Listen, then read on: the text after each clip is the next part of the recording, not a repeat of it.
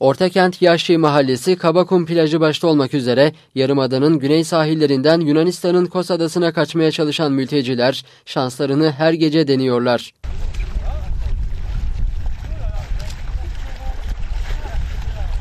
İki gece önce beş mültecinin hayatını kaybettiği facianın ardından Yunanistan'ın Kos Adası'na kaçmaya çalışan mülteci sayısında önceki gece bir miktar azalma olduğu görülürken bazı mültecilerse hayatlarını hiçe sayarak umut yolculuğuna çıkmaya devam ediyor.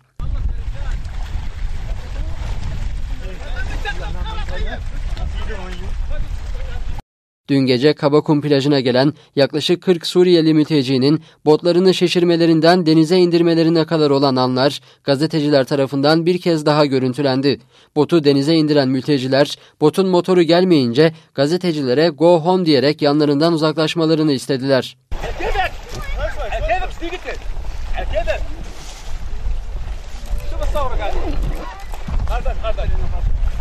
Gazetecilerin bölgeden uzaklaşmalarının ardından yaklaşık bir saat sonra içinde yaklaşık 40 kişinin olduğu mülteci botu Kos'a doğru yola çıktı. Sabaha kadar Ortakent Yaşı Akyarlar arasında mültecileri görüntülemeye çalışan gazeteciler bir başka Suriyeli grupla Akyarlar mevkiinde karşılaştı.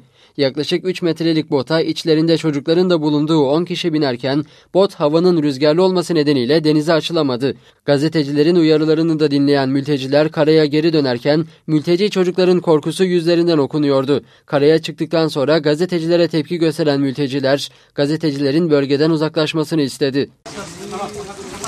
Kapat ışığı kapat.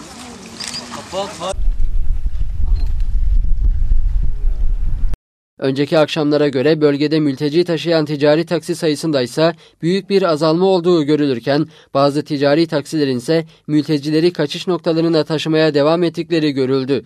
Öte yandan sahil güvenlik ekipleri de sabaha kadar devriye görevi gerçekleştirirken bazı mülteci gruplarının yakalandığı, bazı grupların ise Kos Adası'na ulaştıkları öğrenildi.